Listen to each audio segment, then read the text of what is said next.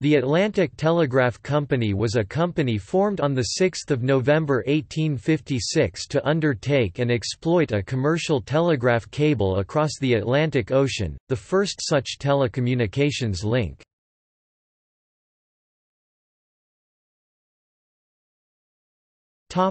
History The project stemmed from an agreement between the American Cyrus Field and the Englishmen John Watkins Brett and Charles Tilston Bright, and was incorporated in December 1856 with £350,000 capital, raised principally in London, Liverpool, Manchester and Glasgow. The board of directors was composed of 18 members from the United Kingdom, 9 from the United States and 3 from Canada. The original three projectors were joined by E.O.W. Whitehouse as chief electrician. Curtis M. Lampson served ably as vice chairman for over a decade. The board recruited the physicist William Thomson later Lord Kelvin, who had publicly disputed some of Whitehouse's claims.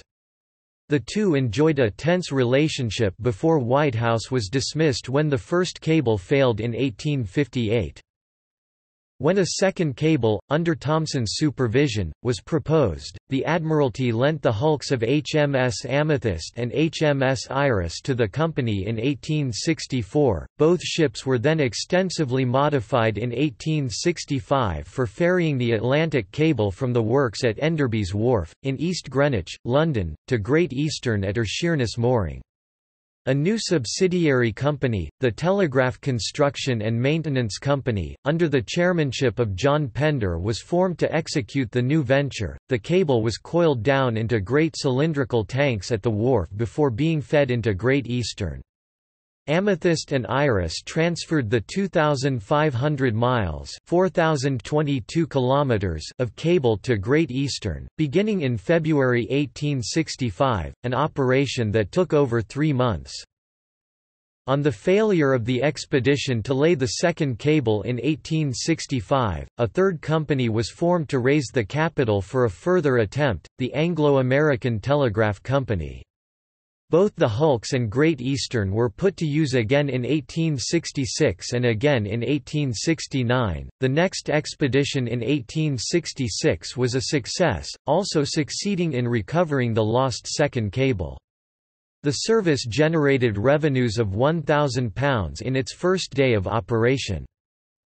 The approximate price to send a telegram was 1 word, 1 mile, 1.6 kilometers equals $0.00003809.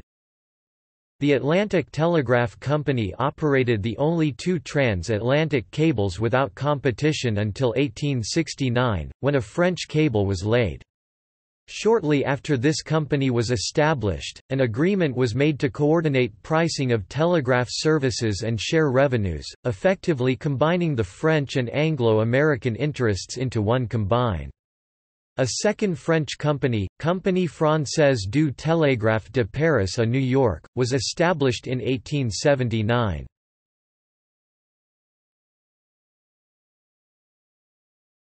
Topic: Anglo-American Telegraph Company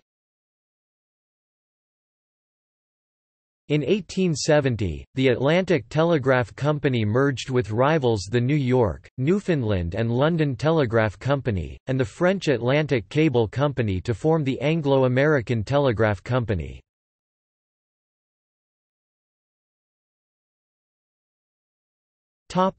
Archive Secretariat Records 2 volumes of the Anglo-American Telegraph Company, 1866–1869, are held by BT Archives.